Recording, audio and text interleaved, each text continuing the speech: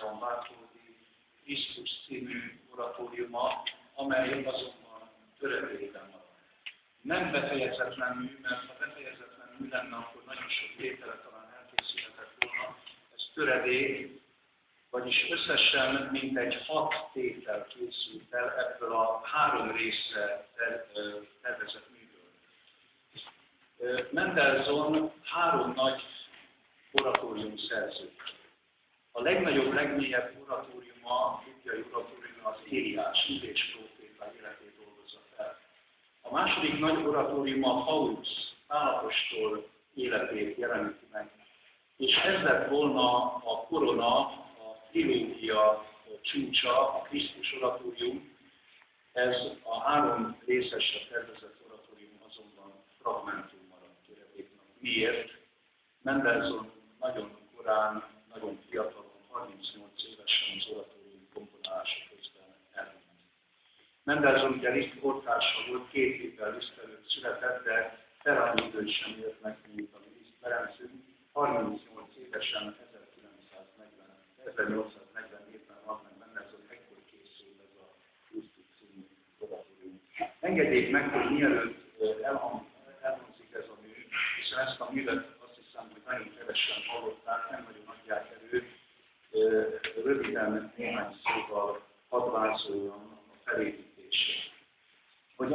említettem, a mű három részre tervezett.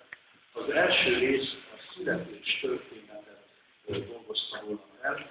Egy szoktán recsitatívóval kezdődik, majd egy szóló tervezet következik, megjelenik a három bölcs, a három napkeleti bölcs, akik hírét vették Jézus megszületésének a judai Betlehemben, és egy nagy fényességet, csillag vezeti őket Judea felé. Nagyon érdekes, hogy az esemény itt megállítja Mendelssohn, tehát nem eseményszerű elbeszélés következik, hanem Mózes 4. könyve 24. fejezet 17. verséből egy olyan profétának a jövendőlése, aki körülbelül 1440 évvel ez esemény előtt már megjövendőlhette azt, hogy csillag származik Jákobból, és királyi pálca támad Izraelből. Ez a napkeleti proféta Bálán volt.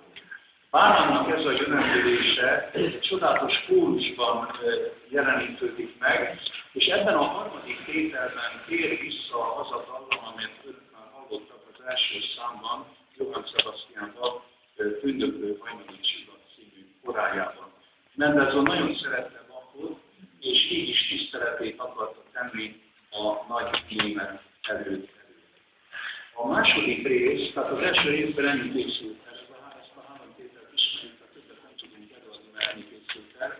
A második rész szintén mintegy három tétele készült el, Döbbenetes lesz az a második rész első tétele, mert ez Pilátus udvarában, Pilátus kihallgatási termében egy óriási nagy tömeghangzavar lesz az elbeszélő, elmondja az eseményeket, mindig megszólal a tömeg és felbújtása nyilván a főpapoknak a feltetszelését kéri Jézusnak a halálítését halálá elvene feszítsék meg. Mint egy másik csillag jelenik meg a műnek a második része első tételében.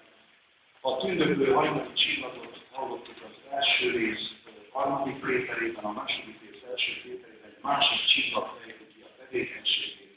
A Bibliában ugyanis a csillag kettős jelkép, jelképe Krisztusnak is, a tündöklő hajnali csillag, de miként estő alá égből fényes hajnal csillag piaci seregeket tapasztal, olvassuk Ézsaiáskönyvben az elméleti fejezetében, tehát Krisztus emberségének sátrának is jelképe a hajnali csillag épp azt akarván szemléltetni, hogy sátán pályázott csak az emberiség fogadta el ezt a pályázatot, és kiértette a földre sátán. Itt most lett meg a hajnal csillaga, nem Krisztus, hanem az önzés fejedelme sátán. Mendelssohn ezt nagyon jól ismerte, nagyon jól tudta. Egyébként Mendelssohn egész művészetének a megértéséhez alapvetőnek tarthatjuk azt, hogy ő zsidó családból származott, nagyapja Mózes Mendelssohn egyénisége volt a 18. században. Leszing a híres bölcs nátányát róla vitázta, és bőte is nagyon tartotta, sőt levelezett ez a Mózes Mendelssohn-nal, tehát a Félix Mendelssohn Bartoldi nagyapjával. Mendelssohnnak az édesapja viszont Abraham Mendelssohn keresztény hitvetét. Nagyon nagy megdöbbenést váltott ki a családban, hogy egy ilyen tradicionális, nagyon hithű zsidó család egyik sarja megismervén a Bibliát, a bibliai jövendőléseket, a jövendőléseknek a Krisztusra vonatkozó egyértelmű bizonságtétel, Abraham Mendelssohn keresztény hitvetét és református lett, a protestáns vallását. Fiának, Félix Mendelssohn Bartoldinak ott volt a lehetősége a választásra, maradhatott volna a zsidó vallásban, de ő szintén személyes meggyőződésére nézve szintén a kereszténységet választotta, és nem csak személyes életében tett erről bizonyságot, hanem művészetében. Mendelssohn egész művészetét az értette, hogy az Új és az Új Szövetséget egységben látassa. Ezért komponálta így az Éliást, a Pauluszt, a Krisztust is, hogy Új és Új Szövetségi szövegrészletek váltják egymást. Itt is nagy erődök mondatai jár, nem csak Johann Sebastian Bach mondatain, hanem gondoljunk csak Georg Friedrich Hendelre, Hendel is a messiást úgy írta meg, hogy a messiás, ez a hatalmas, talán az európai zeneművészet legnagyobb Krisztus oratóriuma, ez ószövetségi proféciák beidézésével kezdődik. Nos hát ennek a második résznek ez a nyitó jelenete egy félelmetes jelenet lesz, mert mondom, a recitatív állandóan a kórus ellenpontozza, és egy ilyen valóban a Máté, vagy inkább a János Pasióra jellemző nagy tudva jelenet kerekedik a tömeg követeli azt, hogy öljék meg a világ teremtőjét és megváltója. Mendelssohn itt is bizonyságot tesz amellett, amiről Indiás oratóriumban is beszél, hogy a világ történelmi leggyengébb láncszeme a tömeg. Ne legyünk tömeglége. Legyünk olyan gondolkozó, önálló személyiségek, akik tudják, hogy mit miért döntenek. A tömeg soha nem tudja, hogy mit miért választ. Mindig a érzések, a hangulatot, a befolyásoltság vezeti. Mendelssohn nagyon jól ismerte a Bibliát, Jeremiás könyve 5. fejezetét is, a 30. 31. versben ott van ez a döbbenetes profécia, hogy rettenetes és döbbenetes dolgok történnek ezeken a földön. Történnek ezen a földön. A proféták hamisan profétálnak. A papok tetszésük szerint hatalmaskodnak. És az én népem így szeret. De nincs szeret.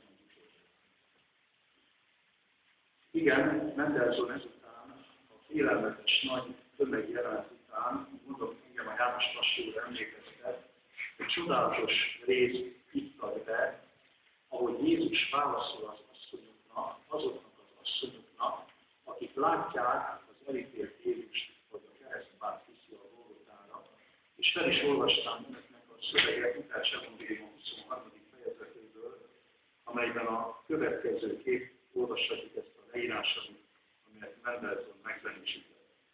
Követte pedig őt a népnek és az asszonyoknak nagy sokasága, akik gyászolták és siratták őt.